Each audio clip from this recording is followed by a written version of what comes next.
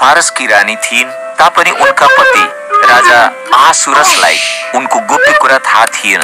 एस्तर एक यहुदी थिए एस्तरका काका मुर्देकै दरबारमा काम गर्थे र उनको हेरचाह गर्थे।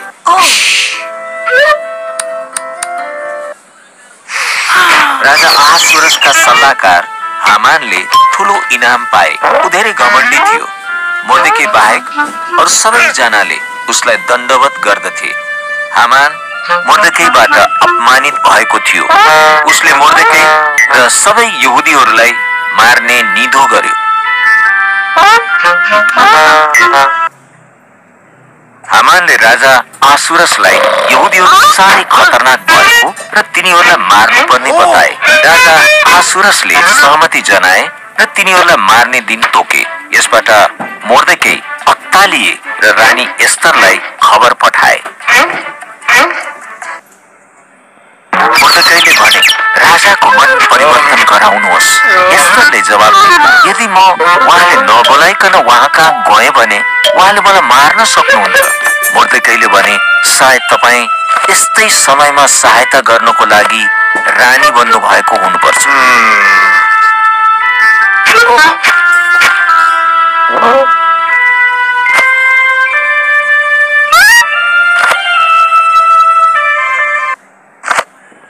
एस्तर साहसी भएर प्रयास गर्न तयार भइन् तिनी राजाको सिंहासन कोठामा गए राजा आसुरस उनको सुन्दरता देखेर चकित परे र उनलाई भित्र बोलाए।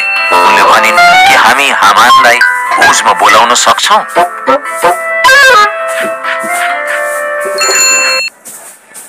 हामानले आफ्नो घरको पछाडि एउटा ठुलो काठको सुली बनाइरहेको थियो। उसले त्यसमा मुर्दकैलाई फाँसी दिने योजना बनाएको थियो। त्यसपछि राजाले उसलाई बोलाइ पठाए। त्यसैले हामान दरबारमा उसको लागि गयो। एस्तरले राजा आसुरसलाई भने एकजना मानिसले मलाई र मेरा मानिस यहुदीहरूलाई चाहन्छ राजाले सोधे कसले यस्तो गर्न सक्छ?